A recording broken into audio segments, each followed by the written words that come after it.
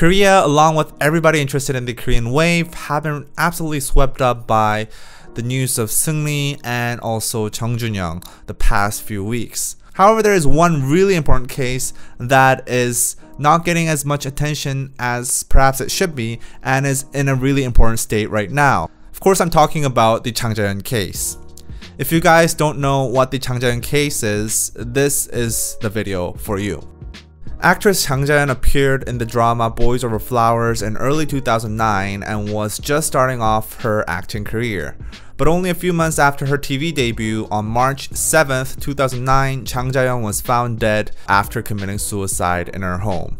Initially, the police deemed that the cause of her death was suicide induced by depression. However, a week later, KBS, a national TV station in South Korea, retrieved documents that were written by Jang Ja-yeon herself. These documents were found burnt up in a trash can, and when they reported on the documents, the case was finally brought to national attention. Now on the documents were some shocking testimonies of her having forced to have sex with figures of high authority. According to the documents, she was forced to entertain VIPs when they were drinking, as well as have sex with them. She said at one point a CEO beat her up, locking her up in a room and beating her on the head with a water bottle. She had to endure blackmailing and verbal assaults. The seven page note listed at least 31 names of media executives from huge news outlets, CEOs, directors, and producers of national TV stations she was forced to have sex with.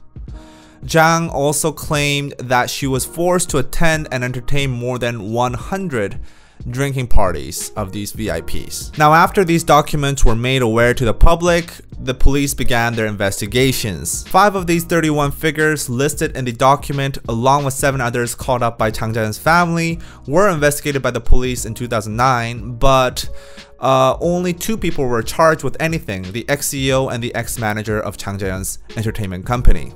The former, the CEO, was sentenced to 4 months in prison and 1 year in probation for assault and assault only. The latter was sentenced to 1 year in prison and 2 years of probation, not for the Jang Ja-yeon case, but for the defamation of the CEO, the CEO that was sentenced to uh, prison for assault. What happened was the Ja-yeon documents mentioned the poor working conditions of the entertainment company, including her having to pay for all the costs of her manager on top of receiving very little money. It also mentioned cases of physical and verbal assault from the CEO of the company to Ja-yeon. However, the court deemed that when these documents were revealed, Jang ex-manager exploited the documents and Jang Ja-yeon's death in an effort to defame the CEO and thus was sentenced to prison for defamation of the CEO. Other than these two, no one on the document received a single charge for anything due to lack of sufficient evidence. Now the case came to a close and many suspected that there was a general lack of effort to make proper investigations due to so many high authorities being involved in this case, or potentially being involved in this case. The court did make a verdict in 2014 that the Jang documents were not meddled with and was authentic. However, this did not lead to a reopening of the case to the dismay of many people. I mean, if you look at the list of figures in the document, they are huge, huge figures. I will not post the list due to potential danger of defamation lawsuits. However, you will find the list very easily with a quick Google search. So if you're curious about that, go look that up. Now in 2017, a special commission on the past misconduct by the prosecution uh, called the Committee of Past Affairs was launched by the Ministry of Justice in an effort to eradicate the corruption in the legal and judicial system of South Korea. Around the similar time frame, the impact of the Me Too movement was hitting Korea very hard and people filed a petition to reinvestigate the Jang Ja-yeon case because of it. And 230,000 people signed the petition and the reinvestigations began. On June 5, 2018, the Committee of Past Affairs launched the reinvestigation of Jang Ja-yeon's sexual abuse case. However, soon after the investigations restarted, the call history from Jang Ja-yeon's phone from the year before Jang Ja-yeon's death till her suicide was found to be lost.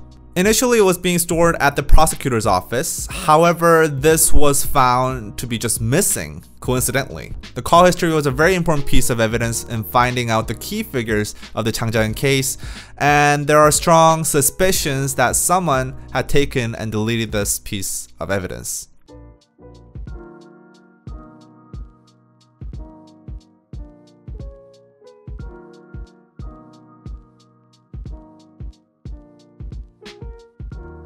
On March 5th, 2019, a fellow actress named Yoon Ji-oh came out to the public for the first time ever in a face-to-face -face interview regarding the Jang Ja-yeon case. She's believed to be the sole witness in the Jang Ja-yeon sexual abuse case, as she was at the same place at the same time when Jang Ja-yeon was forced to entertain VIP drinking parties. She had testified as a potential witness for the Jang Ja-yeon case when it was initially being investigated. However, according to her recent interview she did on TBS, um, she stated that the investigations were not done thoroughly. She said she saw a journalist sexually abuse Jang in front of her eyes, and she made consistent testimonies 13 times to the public about that during the investigations, but to no avail.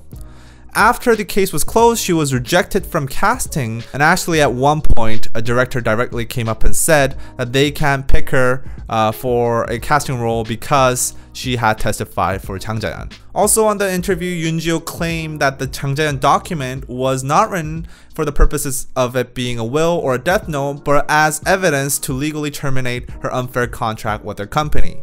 Yoon Ji-oh also went on to say that this case was not just a simple suicide and urged thorough reinvestigation to the authorities. Now, thankfully, on March 18th, the Committee of Past Affairs extended the investigative activities for the Jang Ja-yeon case to be continued until the end of May. So we have about two more months to figure out this case. If the allegations on the documents are indeed true, then it's easy to understand why the case was not being dealt with a lot of sincerity by some of the news outlets or the investigators. It's a sign of how corrupt our society really is and how people in power they, they have it so easy to get away with very serious crimes. Now, if there's one thing that's mildly reassuring from all this is that the case is being reinvestigated now thanks to the people's eyes being on it.